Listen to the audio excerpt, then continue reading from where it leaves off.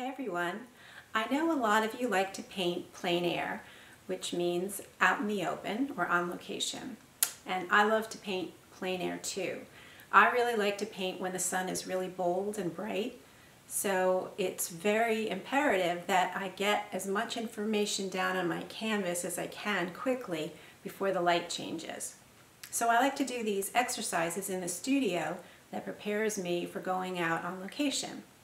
What I like to do is take 30 minutes and see how quickly I can get my subject matter down on the canvas in that time period. So I work from a photograph and I sketch out my subject, I block in the lights and darks, and then I layer the color over that and I see how much information I can get down on my canvas in just 30 minutes. And it doesn't matter if the painting isn't perfect you can always go back into it and tighten it up and finesse it. But the exercise really is to prepare you for the changing light when you're outside. So uh, after this, there's going to be a short video. It's a time-lapse video, and it's about 30 seconds, showing you a 30-minute painting in 30 seconds.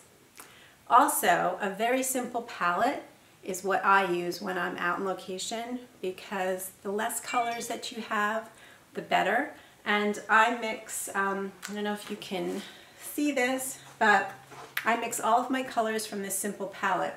Titanium white, cadmium yellow, cadmium orange, alizarin crimson, ultramarine blue, cerulean blue, and sap green. So I mix all of my colors from this palette.